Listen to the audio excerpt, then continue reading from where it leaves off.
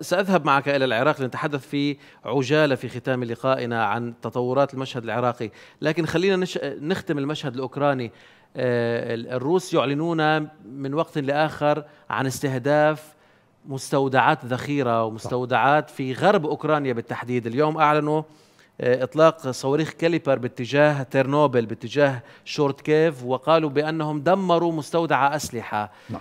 آه، هل هذا فشل أم نجاح؟ يعني إلى الآن الإمداد العسكري متواصل نعم. إلى أوكرانيا. نعم. هل الروس فشلوا في قطع آه، إذا بدك آه، حبل الأكسجين عن أوكرانيا العسكري؟ أستاذ علاء آه، بالمناسبة هذه ليست المرة الأولى التي يعلن فيها الروس عن تدميرهم لمستودعات مستودع أسلحة أو مخزن أسلحة مهدات هذه الأسلحة مهدات من الغرب إلى أوكرانيا. هذه ربما حسب متابعتي ربما المرة الخم ال 15 آه، آه، في الكثير من المرات في العديد من المرات آه، يبدو أن هذا الإعلان كان ليس إعلانا صحيحا لا أقول كاذبا.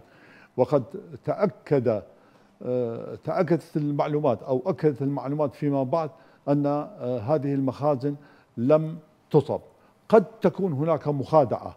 يعني وكأن آه، الأوكرانيين عندما عندما يستلمون هذه الأسلحة هناك أكثر من مستودع ربما ثلاثة آه، مستودعات أو ربما خمسة مستودعات متفرقة. عملية توزيع. نعم بالضبط المخادعة. عندئذ يتصور الروس أن المخزن الفلاني هو الذي يحتوي هذه الأسلحة.